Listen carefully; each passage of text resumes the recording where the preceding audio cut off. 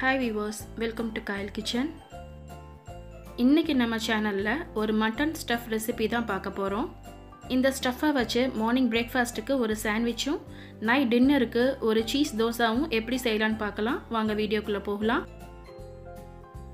கால் kilo மட்டனை சுத்தம் பண்ணிவிட்டு சின்ன சின்ன பீஸாக கட் பண்ணி நான் ஒரு குக்கரில் எடுத்துருக்கிறேன். இதில் தேவையான அளவு உப்பு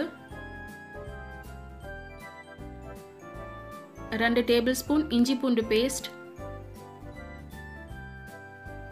இதில் ஆச்சி சிக்கன் கபாப் மசாலா சேர்த்துக்கலாம். கால் கிலோ கறிக்கு நான் ஒரு பாக்கெட் ஃபுல்லாகவே சேர்த்துக்கிட்டேன். உங்களுக்கு கிடைக்கக்கூடிய கபாப் மசாலா எதுவாக இருந்தாலும் இதில் சேர்த்துக்கலாம். இதில் அரை கப் தயிர் சேர்த்து நல்லா மிக்ஸ் பண்ணிவிட்டு தேவைக்கு தண்ணி கொஞ்சமாக சேர்த்துக்கலாம்.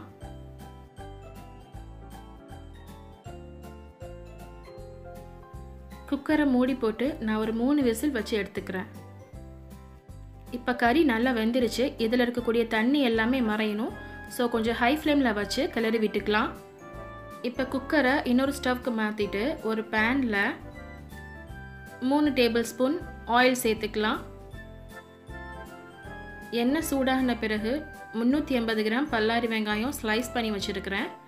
அதையும் சேர்த்து நல்லா வதக்கிக்கலாம். இப்போ கறியில் இருக்கக்கூடிய தண்ணி எல்லாமே ஓரளவு வத்திருச்சு. வெங்காயமும் ஓரளவு வதங்கிருச்சு. இப்போ இதில் கால் கிலோ கேப்சிகம் எடுத்து ஸ்லைஸ் பண்ணி வச்சுருக்கிறேன். அதையும் சேர்த்து நல்லா வதக்கிக்கலாம். இதில் உங்களுக்கு விருப்பமான காய்கறிகள் எது வேணாலும் சேர்த்துக்கலாம். கேபேஜ் அண்ட் கேரட் சேர்த்தாலும் ரொம்ப நல்லாயிருக்கும். காய்கறியெல்லாம் ரொம்ப வேகணுங்கிற அவசியம் இல்லை. ஹாஃப் குக்காகவே இருந்தால் போதும். இப்போ கறியில் உள்ள தண்ணி எல்லாமே நல்லா மறைஞ்சு திக்கான கிரேவியாக இருக்குது. இந்த கிரேவி தான் ஸ்டஃப்புக்கு ரொம்ப டேஸ்ட்டாக இருக்கும். ஸோ ரொம்ப வத்த வைக்க வேண்டிய அவசியம் இல்லை.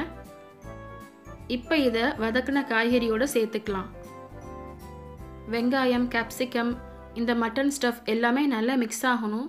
ஒரு அஞ்சு நிமிஷம் நல்ல கிளறி விட்டுக்கோங்க. இந்த ஸ்டஃப்பை ஃப்ரீசரில் ஸ்டோர் பண்ணி ஃபைவ் டேஸ் வரை வச்சுக்கலாம். மார்னிங் பிரேக்ஃபாஸ்ட்டுக்கு பிரெட் டோஸ்ட் மட்டும் போட்டு கொடுக்குறத விட இப்படி வெஜிடபிள்ஸ் மட்டன் எல்லாம் சேர்த்து ஸ்டஃப் பண்ணி கொடுத்தோம்னா கிட்ஸ் கூட விரும்பி சாப்பிடுவாங்க. ஃபில்லிங்காகவும் இருக்கும்.